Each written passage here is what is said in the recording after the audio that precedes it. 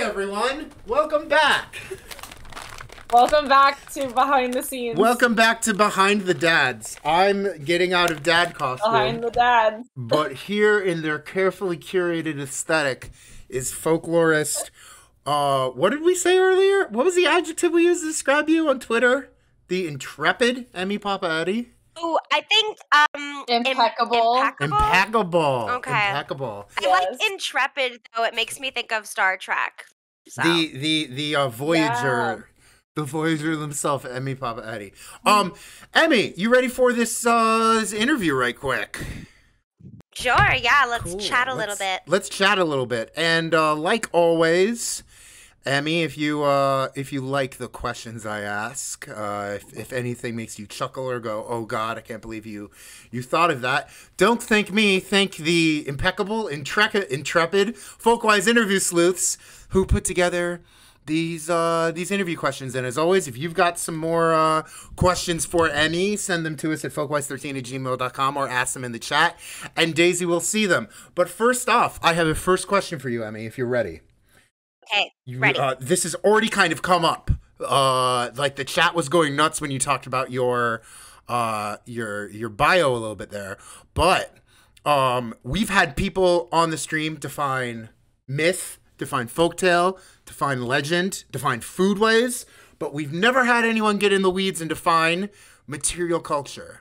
What do you think but uh, how do you define material culture for people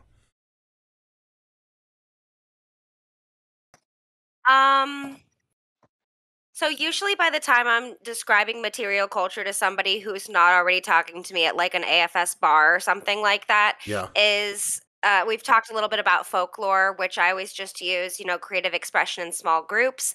And then the extension of that is, you know, the material objects. I like to make a distinction between sort of like verbal and tangible with the awareness that both of them kind of like inform each other. Mm, But material culture is kind of anything that you can see like the hand of individuals who are participating in a greater social culture.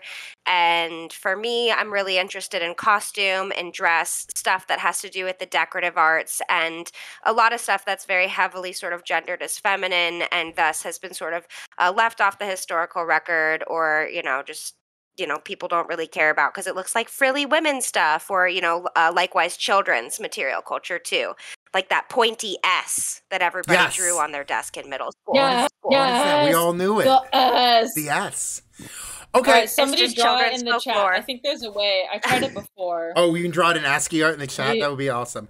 Okay, Emmie, Emmie, that leads me into my next question in perfectly. I'm gonna try. That leads Daisy, get on it. Okay. Okay. that leads me perfectly into my next question, which is basically uh, speaking about dress and costume. We we just uh, played a game about a hot dad dating a hot dad, um, and there are all these different ways, like uh, uh, tangible.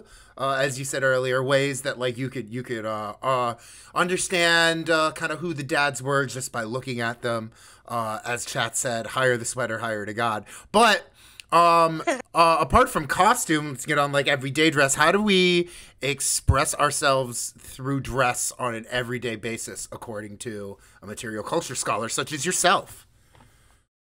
Okay i mean essentially like today most of us don't make our own clothes. That's not true for everybody. We've got people out there who are using their spinning wheels and making the yarn and then making the sweater and like all the way super cool. Mm-hmm. Um, and like I'm really interested personally in like sort of doing uh, like assemblage or bricolage, finding like thrift store clothes that I like the patterns of, but that don't fit me, and I cut them up and I make them into new outfits.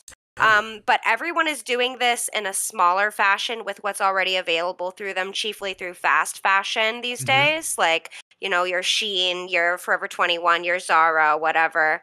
Um, so as we kind of move through the world, we are either actively or passively like gathering all of this material that we then combine using our own sense of aesthetic and also like sort of there's a functional aspect to material culture a lot of the time because when you're dressing yourself it's not just to present yourself especially in the daily way it's also um you know like oh i ha- it's it's hot outside, so I'm going to wear shorts, or um, I'm going to go sit in a hot place outside and I want to make sure that the back of my legs are covered so I don't have like that metal like uh, wicker basket on the back of my knees Yep. when I stand up from the restaurant table, that sort of thing. So, hmm, that's everyone. Everyone is being creative in the way that they dress themselves every day, even if they're not being um, particularly visually innovative to us. You know. Yeah.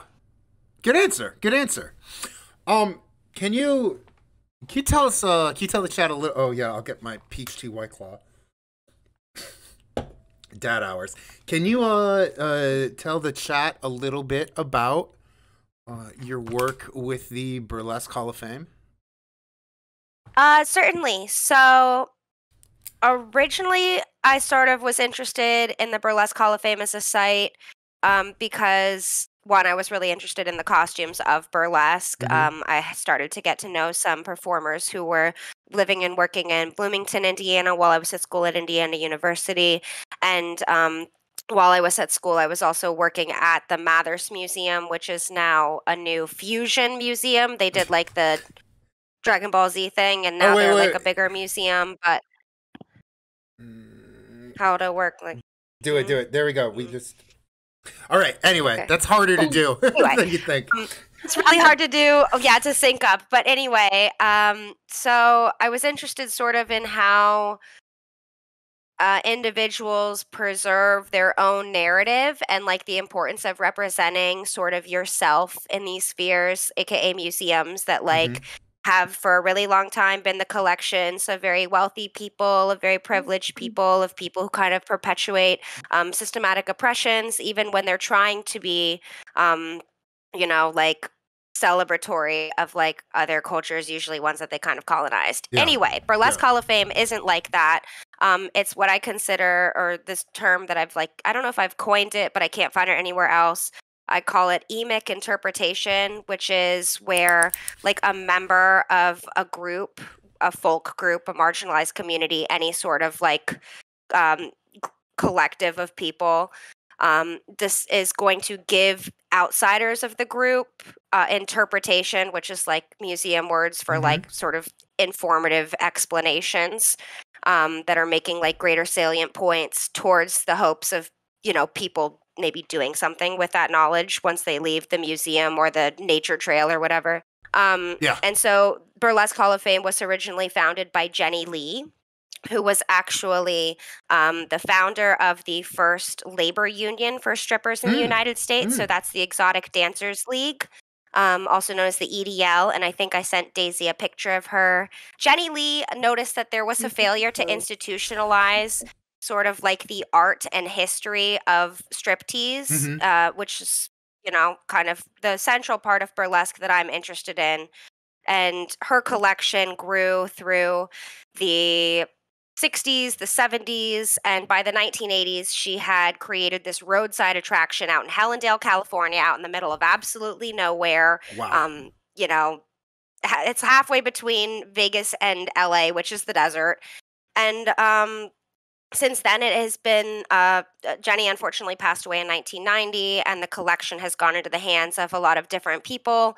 But uh, the people who run the museum today, the uh, programs director, the curator, are people who perform burlesque. So uh, for me, it's really important to find an example of how um, people are choosing to represent themselves in an institutionalized space using sort of the language of institutions, which could be seen as sort of like oppressive language, but uh, towards the end of sort of like swaying the greater population to a more like humane and respectful sort of understanding of people who aren't represented well in mainstream culture. Wow. That was uh that that was a great answer. It's So amazing good. because I'm also looking at like my next three questions and how you got to all, all of Oh, them. I'm not gonna lie. Cause like next question, next question was uh how do you center the stories of women the working class and of a stigmatized uh profession to be explicit stripping, which is a quote of yours that I appreciate. Um but I feel like I feel like if you were I mean you could say more about that. Uh Uh, is there more? Uh, you could say more about that, right? Yeah, I can. So, I mean, generally Yeah. speaking, we can kind of understand just as the small group, what are we? There's 20 of us here now. We Mhm. know just from our own experience, this in a very puritanical culture, at least in the United States. I don't mean to assume that everyone on the stream is like US based, but like, We got a you know, Canadians. We've driven past, like, well, I'm, you know, Yeah. all. God save the queen, whatever. It's the same problems for us here and there Yeah. culturally at least but um Mhm. You know there's it's a taboo job it's something Yes. that in uh, pop culture and in the media these women are usually treated as disposable in like true crime sort of scenarios Mhm. or in comedy they're looked to be um you know sort of like disposable in a different way um you know, kind of like frivolous, empty, vapid. Like they're not real women. They're the foils to mothers, daughters, wives, Yeah. which is kind of like society's expectations. So the reason that I think that the working class element of burlesque and striptease in particular is so important to pay attention to is because this is a job that it makes sense that a patriarchal capitalist culture would demonize Mhm. because it is one by which a woman or like a femme a fab person or just someone who finds their way to presenting feminine because there's a lot of a lot of trans women who do burlesque Yeah. as well like historically um uh, it's a way by which you only need your body to make money. You only need your body and maybe one dress and a G string and some pasties. And, like, yeah, you can spend thousands of dollars on that. But historically, that was a way that a lot of women escaped serious abuse and serious sort of. Um, I mean, it doesn't even have to be like like danger scenarios. Just like how else would you get out of being the drudgery of being a housewife Yeah. in the 1950s? You know, like there's these expected societal roles. So these people who are transgressing, um, that story is not just important important from like a gender and a labor perspective, but also I think for people who view themselves as outside the bounds of sort of the dominant cultural narrative of what's Mhm. acceptable for behavior and um and like for your life because they're also entertainers and i think that that's something that i've like struggled with a lot uh if i had known when i was 19 that i could just go and be an artist and like that was something i was allowed to do as like a first generation like immigrant child that like I never would have gone through academia. I wouldn't have gone through this rigor. It's important for people to know that it's not just a pipe dream to do something that is purely based on making people happy and on creating art and um, living a life that is exciting and beautiful for you. So, Well, um, fan- fantastic, and that actually leads me to something. the The end of that especially leads me to something I really, I really want to ask, and um, I'm gonna try to lean this way so everyone can see the the painting over my shoulder as well. Um, but because you mentioned if you were uh, like you know if if you knew you could just be an artist, that is to say, Oh. yeah, yeah, that's a that's a that's an Emmie original. Uh, if uh, you you had mentioned if you knew you just if you just be an artist, you would have pursued that. But how has being a folklorist uh, influenced your artistic output or expression? I would say that it has been one of the most like important and trans like transformative sort of perspective shifts because it allowed me to see that like yes there is art as like an occupation Mm-hmm. but that I can also still, you know, this is me, let's say like six years ago, who's like in the depths of like just doing PhD, like Yeah. I'm gonna do academia, whatever fever dream I was in the midst of. um but like that that everyone's life has room for art that Yes. everyone's life already incorporates creativity whether it's a mom who like is drawing a little note in the lunchbox for their kid or whether it's someone who's dressing up really elaborately to go to a costume not to a wearing costumes to conventions or just for halloween or even someone who I'm sure about that. arranges you know their hair and their their clothes really well to go to church on sunday that there's all these different ways um, that people, yeah, are already doing art and um yeah and just like allowing me i think the grace to see art in everything and not just stuff that like you know i might not have been as interested in like weird car modification or like these, their collection of bumper stickers or like whatever dangly Yeah. things they put on cars cars is not like immediately what comes to mind but now driving around town like i cannot be bored anymore in part thanks to folklore because all I can do is think about where did these people go? Where's the market for like that crazy sticker? I've okay. Can I tell you the best car sticker, bumper sticker I saw recently? I'm gonna do it anyway. Please. Um, um, so I'm sure we're all familiar with "No Step on Snack," the um, the Yeah. yellow flag that says The, "Don't the, tread the on Gadsden, me." I don't know, Gadsden whatever. flag. Yeah. Weird- Weird. Eng- yeah. so fuck not yeah, okay. Yeah.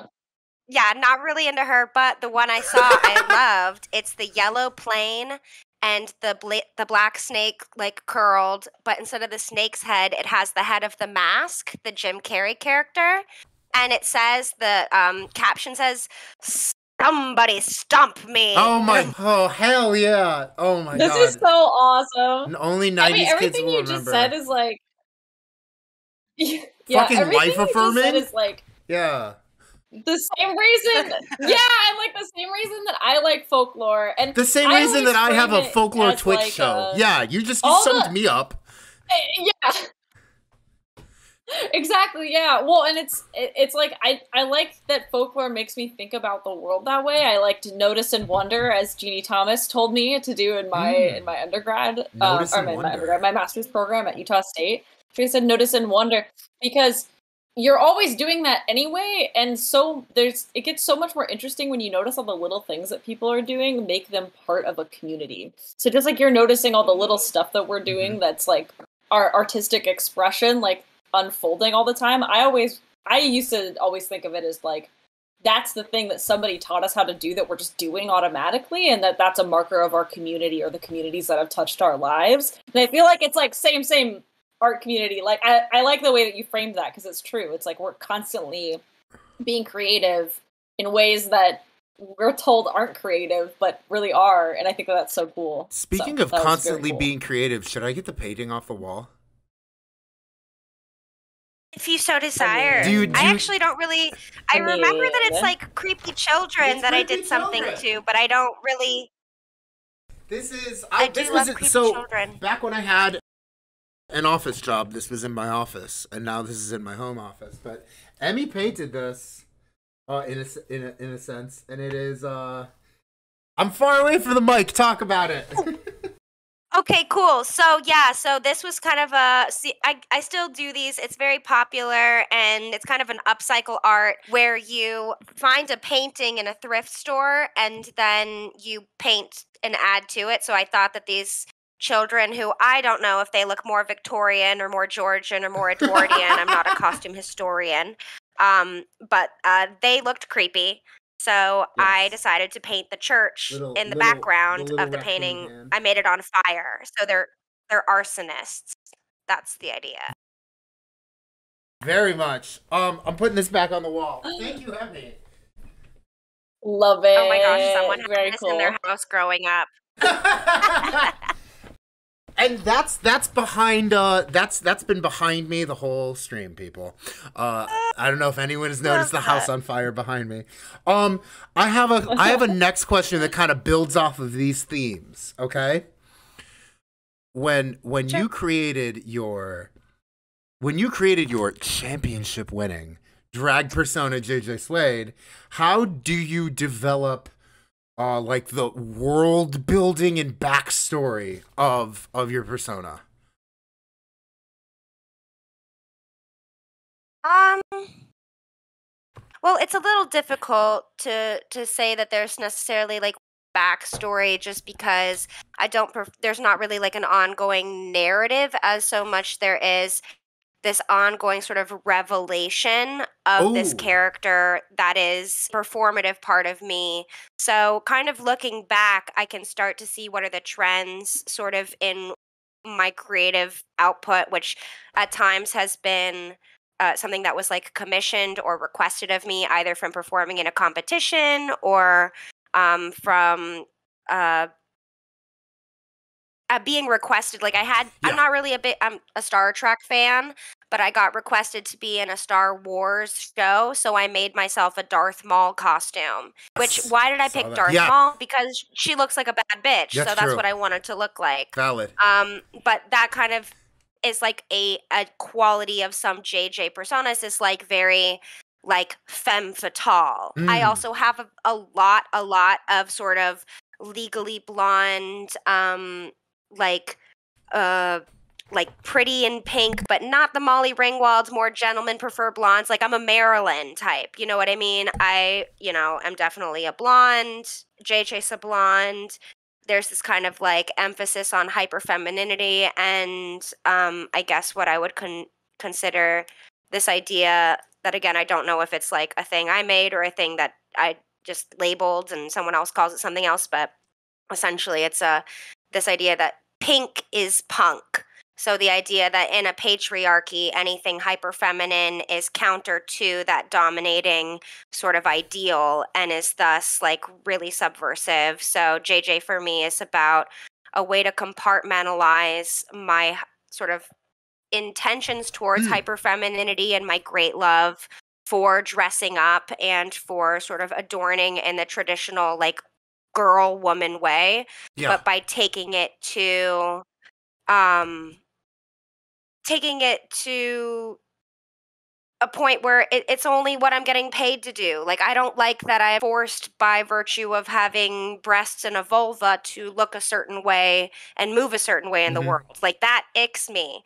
But if I can do it on stage, guess what? I'm like really super good at looking like super beautiful. It's really Yes. fun. So I like having that agency and that shift in in a performance art helped, I think.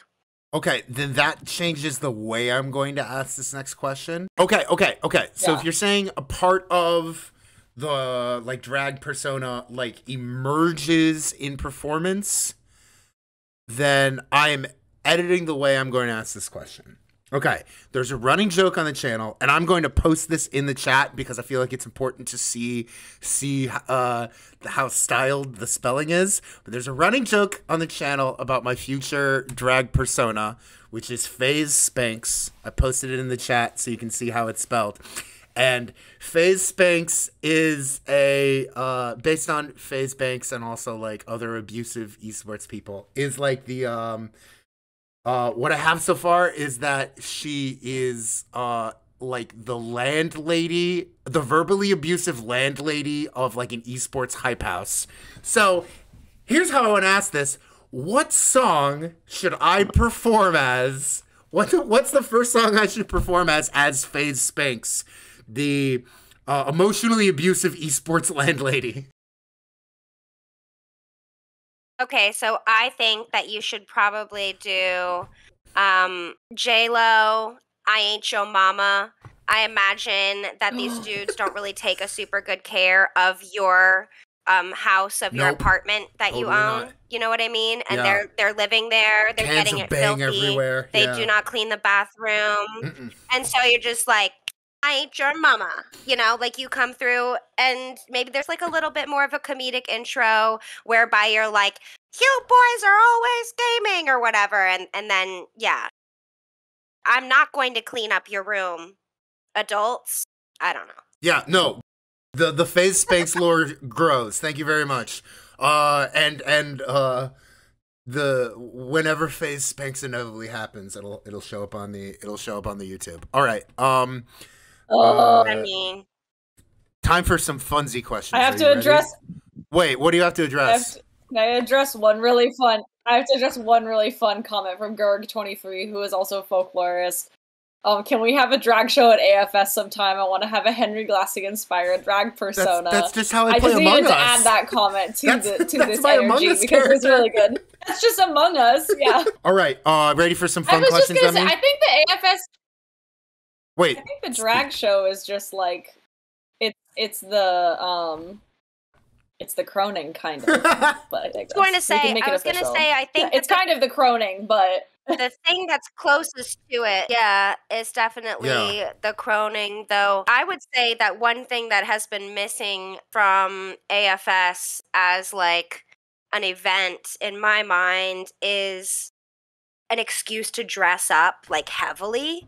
So if there could be some sort of Yes. Yeah, I like agree. formal masquerade element, that way if people wanted to do like more drag like fantasy or they just wanted to be like glamour glamour glamour both of those things well both of those things are fantasies right just Mhm. like yeah, some of it's more queer yeah. but i would love to see All right, fun questions. Uh, being a Floridian, what is your hottest of takes on Florida, man?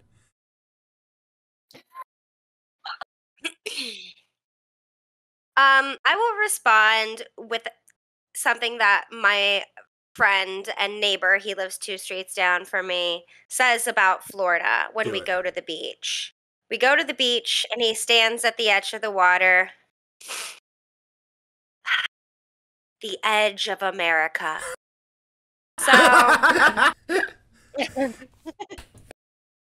Edge of America. I think that Florida's a really strange place because it is still not for very much longer, like due to the incredible rate of development, unfortunately, that our state is going through. But um, like we have incredible nature and wildlife that is much different than sort of like the iconic American, like uh, you know, Rocky Mountains majesty, like that sort of image. We have really difficult nature. We have flying cockroaches. We have spiky palmettos. We have poisonous snakes in the water and the grass. We've got crazy hurricanes. And I think that um, it's kind of like this twisted cowboy mentality Mm. of people down here. It's not the Wild West, but it is definitely. it's the feral like- southeast.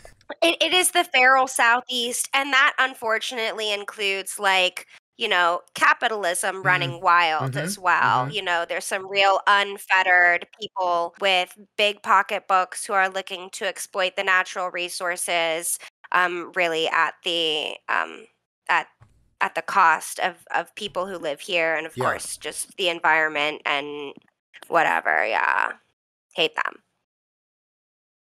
Next, But yeah. Florida Man is Oh. like legit. That exists. We're weird. Hell yeah. Um, Emmie, famously in tw- fame, world famously in 2014, you breathed new life into a dead meme when you came to my birthday party dressed as "Hello, this is Dog." Uh, if you were to come to a meme themed costume party in 2021, which dog would you dress up as? Oh, I would have to be a dog meme. I Okay. I was just assuming Ooh, you'd be a you dog know meme. which- Okay, can I give you one dog meme answer and one not dog meme answer? Because I think just for the sake of dressing up, I would probably want to be like Patrick with the eyelashes and the fake nails. Have you guys seen her? Mhm. Yes. Okay, and then for the dogs, I would want to go in a couple's costume with somebody. What one of us is looking like maybe like construction hat dog, and the other one has like a manicure. And the meme is, uh, "My hands look like this, so hers can look like this." oh my I don't know god, if you've yes. seen those with like the dog manicure. I love that one. Okay. That would be so good. Nailed it. Okay. I think Ah, nail, nail uh, forward. Nailed. Clawed it. Um. Okay. And um.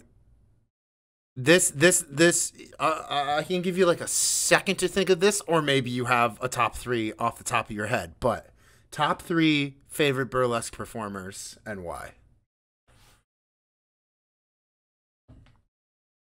Historical or contemporary? Either.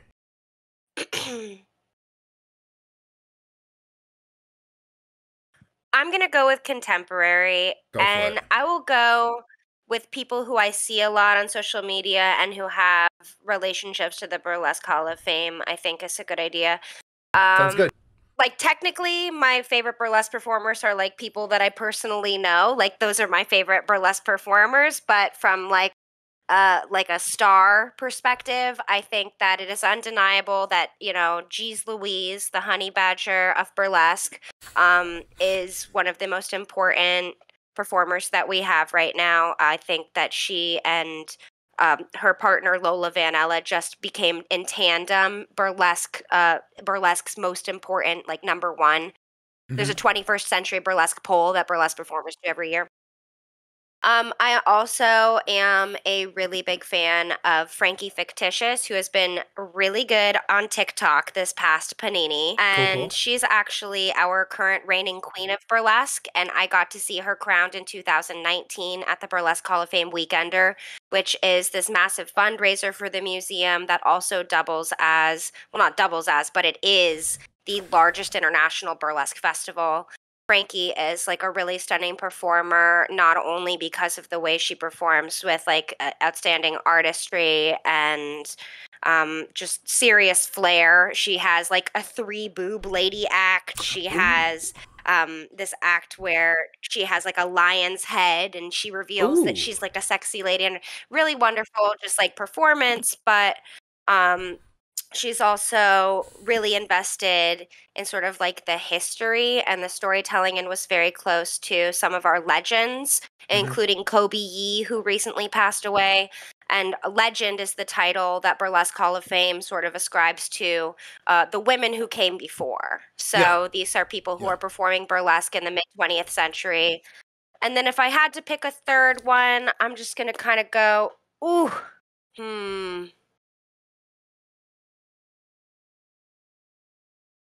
they're not really just in the burlesque world. I freaking love Ramona Slick, like absolute icon, idolatry. Um, and they are a drag performer who incorporates a lot of burlesque, and oh, they cool. have a background actually as like a contemporary uh, strip club, like stripping person too, which is something that I really like. And uh, that's the same with G's, and I'm not sure about Frankie, but I think that that's a really important conversation when looking at neo burlesque is that for some people this is a hobby um, and for some people um, this is an extension of their actual occupation as professional erotic entertainers mm, and i mm-hmm. tend to be really interested in um, the burlesque that's being performed by people who also do stuff that is sex work or sex work adjacent um, only because burlesque sort of classic striptease, you know, like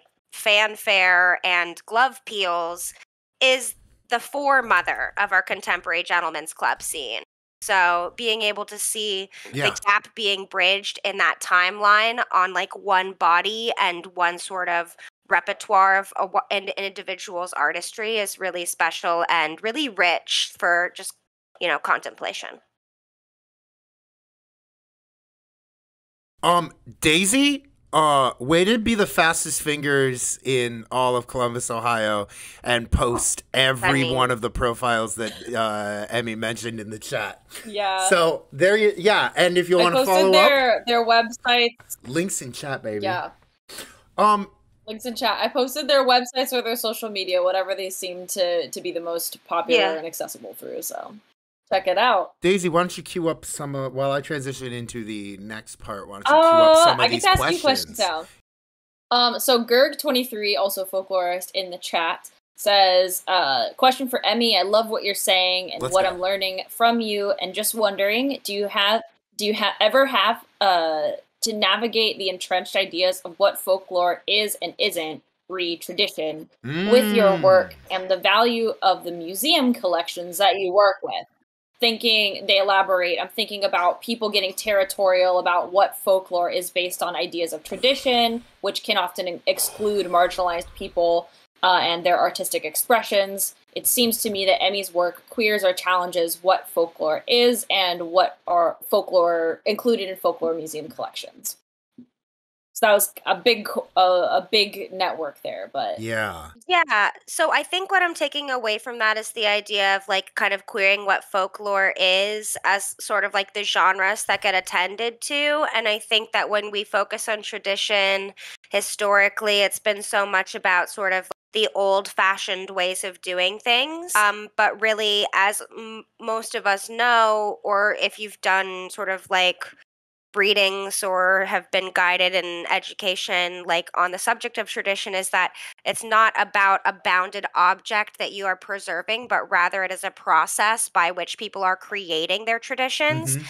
and so I think the museum is a very active space in which people are creating narratives that can either stick with tradition or queer tradition.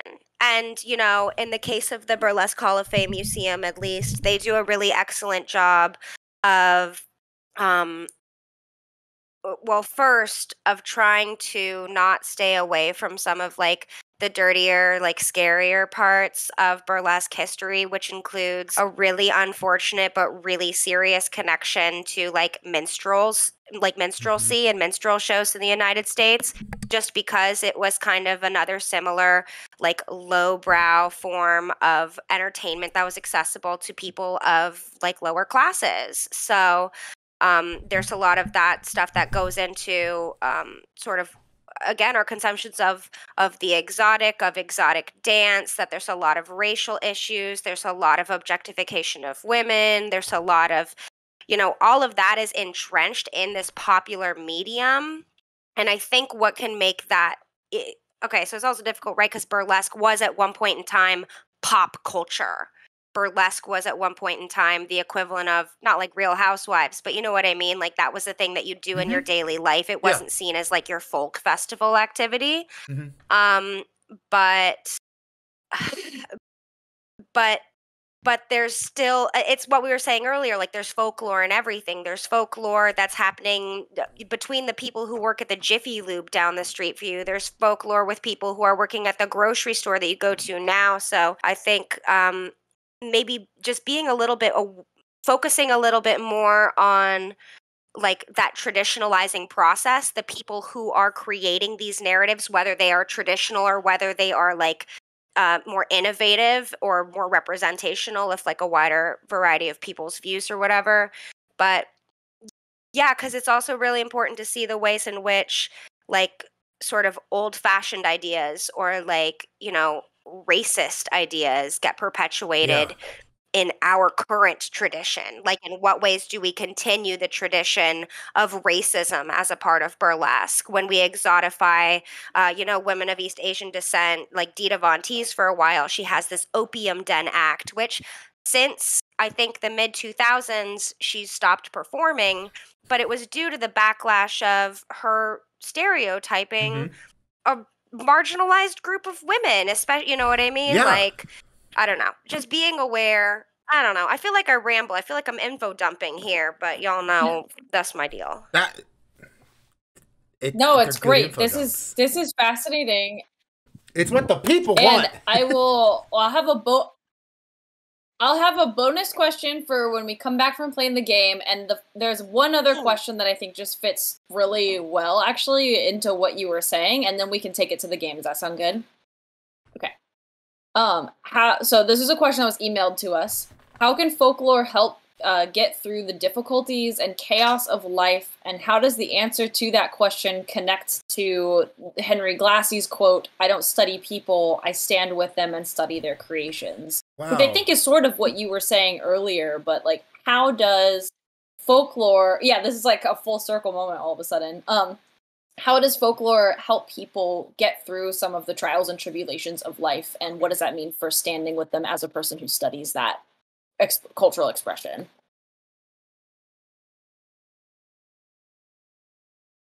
can i get one more time your succinct version sorry i've got like a lot of Yeah.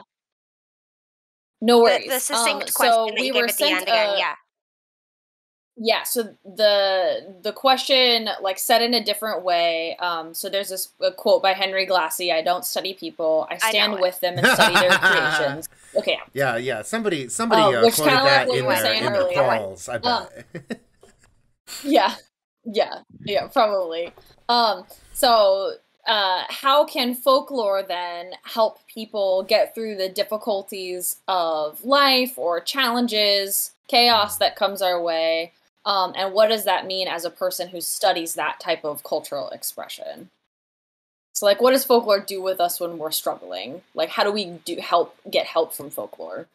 Um, this makes me think a little bit about like other parts of just human life that are inexorable from our experience, such as the body. Ooh. Like our body is always there and is always like a part of us and our experience. And while some people, you know, there's obviously like people who have different differing abilities, but essentially our body is what allows us to continue like perceiving and engaging with the world. And folklore for me is like the social extension of essentially our body so there's no sort of question of whether or not folklore can help us through trying times, but rather the mindfulness, the attention to, and the perception of folklore can be I believe, a panacea in both a personal and a greater social way.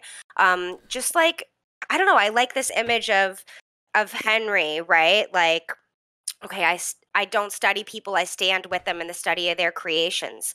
Like, I am not judging everyone around me. I'm trying to, in a mindful, sorry, I've also been doing a lot of meditation because, like, my freaking anxiety has been out of control for the Pendulce.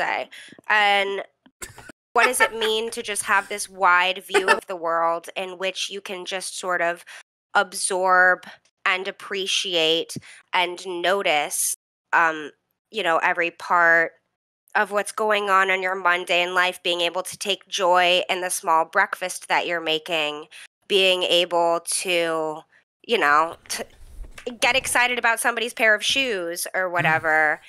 Um, yeah, I think that folklore is and folklore for me now being a shorthand for the creative practices of human beings like as a species it is a completely um what is that called it's a I don't want to just say sustainable, but it is an infinite resource that mm. humans have. Like, we have a drive to create, we have a drive to connect to other people and like that's it, baby. What else are you going to do? Uh Luomi has a lot to say also about drag in the chat if you want to scroll, but not like a specific question. Not a question. So just, feel free to peruse that to while, a, while we explain. Yeah, the two of you just share like a martini. You gotta hang out. You gotta hang out with yeah. Luomi. Yeah. Uh, no, and send, I mean, I mean, like message. a shorthand. though, a, though a shorthand reason is why we don't look at um why we don't look at apprentices uh, like you know, the Archie Green Occupational Folklore Fellowship isn't going to someone who's doing like drag queen stuff mm-hmm. is because we don't think of drag as it is neither folk nor art. You know, that it is actually just because it exists outside of the periphery. And now it's yeah. starting to become uh, more popular in like pop culture thanks to RuPaul. But like, I think that's a really excellent example of like, you should problematize some of the tr- these processes of traditionalization because now we're getting a traditional mainstream view of drag that looks like cis men yeah. pretending to be conventionally attractive women and that has never been the purpose of drag. That is one small tentacle of a really freaky octopus. So i don't know. Taboo stuff. We don't look at it because we're still a product of our society Dom, are you ready to explain? yes, I am. Emmie, you ever ma- Emmie, have you ever made a tier list? Uh, let me start over. Emmie, have you ever made a tier list? No, I never made a tier I'm list just before. Ask that question again. Cool. Well, you kind of you kind of got at it earlier when we said uh uh when when when we had a good date with Matt and we got to uh, S but a tier tier list started off as a way to rank character choice in video games. Uh, but recently, especially on Twitch, they have uh, uh, they have uh, moved into uh, the realm of how to rank everyday things, which is why I, as a folklorist and gamer, love them. So we try to do a tier list with everybody on stream after we interview them, something they uh, are uh, uniquely qualified to have the right opinion about. Uh, and you already see where this is going. Um, Emmie, I would like you to rank the the Sailor Scouts. Are you prepared for this? Um, yeah, I um, am. Or is there going to be like a review of them, or I just need to like pull up. Like I want to make sure I remember their names because I know like Mer- Mercury, Venus, Oh, okay, whatever, I'll and pull them- Can I just say like I think Usagi's number one? I'll pull them. I'll pull them uh, one at a time for you, and I can. Yeah, I can. I can run through them, especially because I Okay, know. stunning, I know. I will. I'll give. I'll give. Hey, I'll give the English names for the chat, but like you already, like you already uh alluded to, uh, Emmie gets the Japanese names. The rest of you filthy casuals gets the get the English names. Uh, basically, S is masterclass. Uh, S is masterclass. D is barely passing. Uh, if if if someone is an object uh, like abject failure, we can create an F class. Uh, but on a scale from S to D, D, we're going to rank the Sailor Moon characters. Are you ready? Yes. All right. Okay. Let's start off. Let's start at the so very wait, beginning. so like the a very good place to start. In, um, first off is Usagi. First off is Sailor Moon, Ser- Serena, if you prefer herself. And you already alluded, she's the very top. Where, where is she going? S, right? You said that's the top. top tier, S tier, absolutely. Usagi up, up at the I top. don't know. Next up is uh, Ami. Next up is Mercury. Okay. Mercury. Uh, I feel bad because I have a lot of extroverts in my life that I love, but like she's kind of a drip. So Yeah. I'm gonna put her at B tier. Okay, okay, cool. Um, all right, all right. Let's get to uh, let's get to Venus next. S tier. S tier. Okay, Sailor V. Let's go. Now below below Sailor Moon. Yes. Sailor Moon number one. Got it. Got it. Got it. Okay. Next, hit me with where are you putting where are you putting Sailor Mars? Where are you putting Ray? Uh, A tier. Solid A. Um, my okay. Jupiter is Best girl, in my opinion, best girl. But where's she going?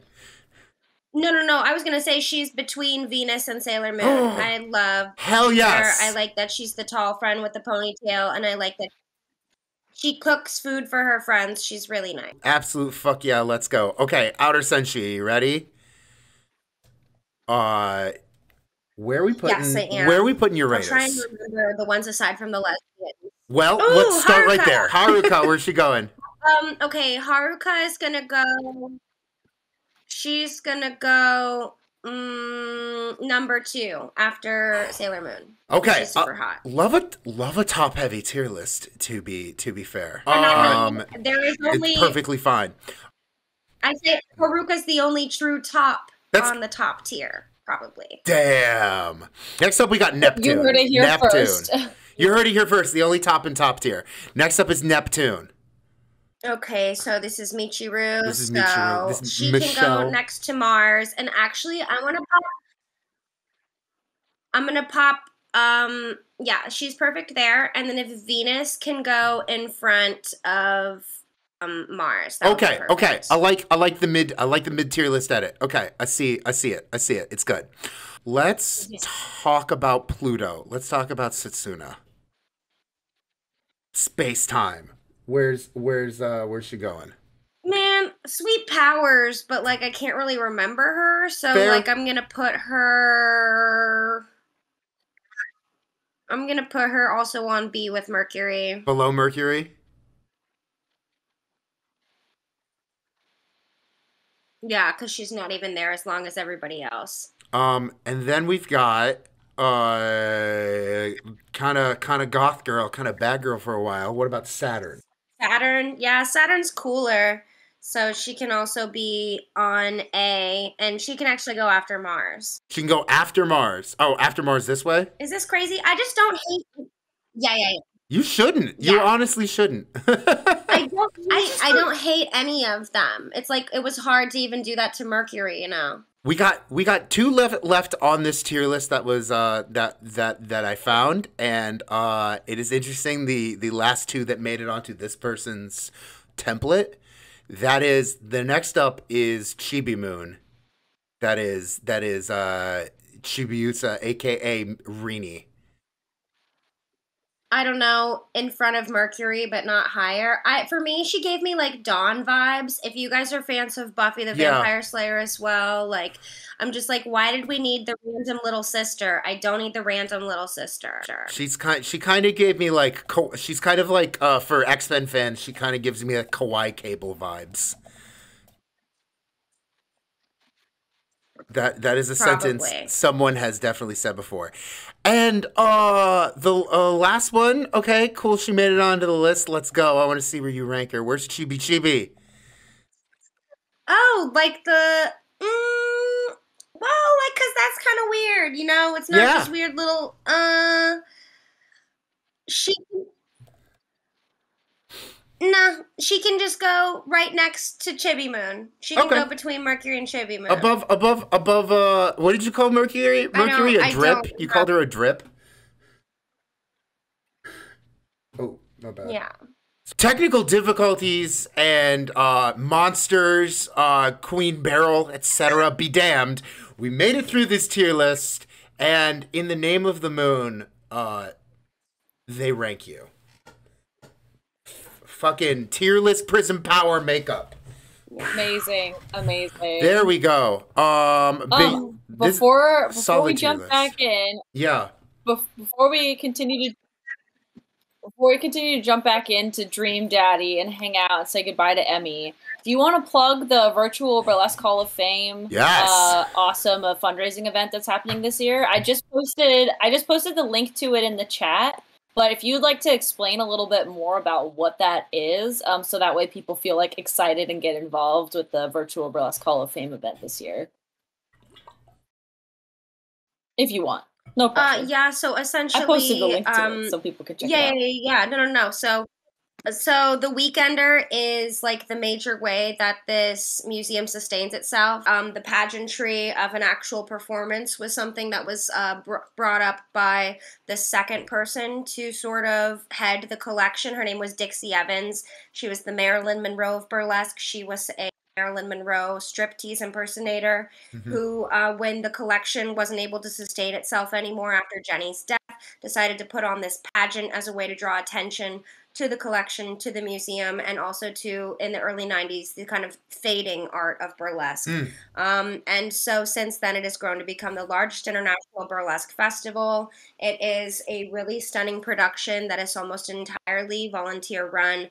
And unfortunately, last year and this year, due to the fact that um, our most treasured sort of like people are our burlesque elders, we are not hosting Yeah.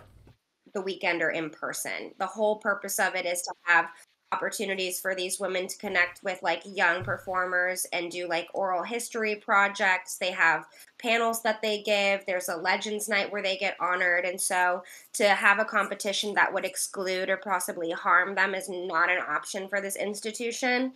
Um and so you know, like they could put one on this year, but that's one of the things I also really like about the Hop is just like they're incredibly ethical in the way that they attempt to really like center um, the people who they care about in um, like in their programming practice, not just like in their narrative.